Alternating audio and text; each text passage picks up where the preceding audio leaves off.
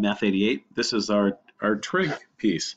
And for, uh, for trig, what we're going to do is we're going to think about the relationship in, in right triangles. And the relationship that we're thinking about is between um, the angles on the shape and the side lengths. Like we know the side lengths are related uh, using that Pythagorean theorem. That is a squared plus b squared equals c squared. So in this equation, 3 squared plus 4 squared equals 5 squared. So that's a, that's a good one. We also know that the angles in here, this, that, and that must add up to 180 degrees. So if we were to go um, angle A plus angle B plus angle C, we get 180 degrees. Now, notice these two comparisons do um, like limit you to one type of measure. And what I mean by that is the 3, 4, and 5 are all side lengths. So this statement, Pythagorean theorem, uh, connects side lengths to side lengths. This statement about the sum of the angles connects angles to angles. But what we want to do is make some connections between the measure of the angle and the side lengths. So how do I know, if I know something about this side A, how do I know something about these other sides? That's what trig does. So let me, if you think about these trig functions, and I haven't said what they are yet, what happens is we input an angle, and what it spits out is a ratio. And let me let me talk about that. So in this triangle that's right here, um, I'll talk about my our first trig function, which is sine, and it's abbreviated as SIN. So if I were to talk about sine of angle A, this angle that's right here, notice what I'm doing is my trig function now is sine. So that means that uh, instead of just writing trig here, I can write I can write sine. So sine is the function, sine's the machine. And what I'm doing is I'm putting in angle A, and it spits out a ratio. And the ratio that sine spits out, so sine of some angle spits out um, opposite over hypotenuse. So let's think about that for a second. Let's start to label some sides here. Uh, the side that's opposite the right angle is always the hypotenuse. So in this case, my hypotenuse is 5. And now opposite is relative to the angle. So if I think about angle A, the side that's opposite angle A is side 3. So sine of A returns the ratio opposite side divided by hypotenuse, 3 fifths. And I can just write it as, as 3 fifths. Uh, let me think about cosine of that same angle, cosine of A.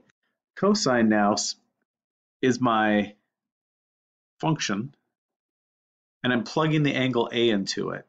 And what cosine is going to tell me, um, cosine is going to tell me a different ratio. It's the adjacent side divided by the hypotenuse. So hypotenuse is again always 5, always opposite the right angle. If this is angle A, this side right here that's not the hypotenuse is adjacent to that angle. So cosine then would be 4 fifths. And the last uh, trig function I want to talk about, tangent, same idea, tangent of A, um, tangent of some angle. What tangent spits out is opposite over adjacent. So in this case, opposite is 3, adjacent is 4. So opposite over adjacent is 3 fourths. Cool. Uh, let's do it again, but with a different angle. Let's do it with angle B. So let's find sine of angle B, sine of angle, uh, sorry, cosine of angle B, and tangent.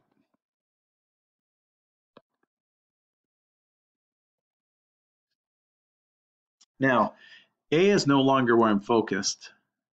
Uh, now B is where I'm focused. So B is where I'm going to center myself because I'm talking about angle B. And this adjacent opposite switches. The hypotenuse is always the hypotenuse. Again, the opposite, uh, opposite the right angle is the hypotenuse.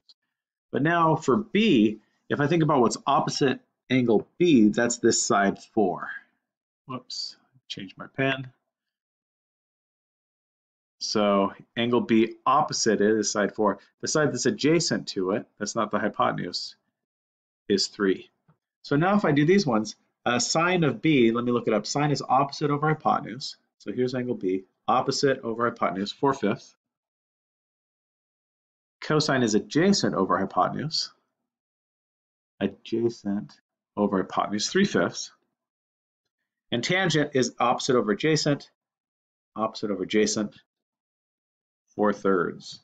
Great, and that is, um, that's basically the ideas behind trig. Let me do let me do one more example here, which I think is a good one. Um, before we do it, it's kind of interesting to note that in this triangle, uh, sine of A is 3 fifths and cosine of B is 3 fifths.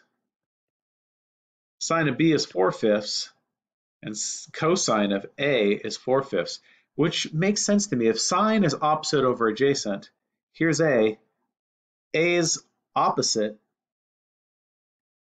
is 3, and B's adjacent is 3. So the opposite and the adjacent switch when you switch angles. So that means sine of one of them would be the same as cosine of the other one of them. So as I promised, I'm going to do one more triangle here, and then uh, you'll be able to jump into some practice. So I'm just going to draw my triangle uh, like, like so. Oops. And I'll use the sides 5, 12, 13. I'll call this A. I'll call this B. I'll call this C. Typically, the angle that's the right angle is always called C. And let's find some sine cosine tangent values for these.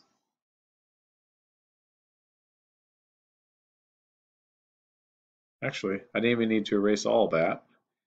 I could just erase some of it. Oh well.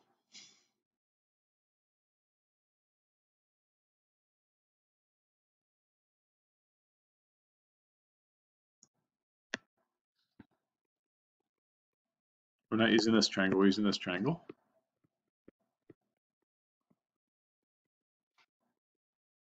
So sine A, so let's think about angle A. Let's center ourselves there.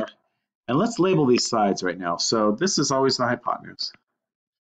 Relative to A, this 5 is adjacent. Relative to side A, this side over here, this 12 is opposite. So we have those defined. So sine of angle A. So angle A, I plug it into sine, remember it spits out a ratio, and that ratio is opposite of hypotenuse. So opposite of hypotenuse, 12 thirteenths.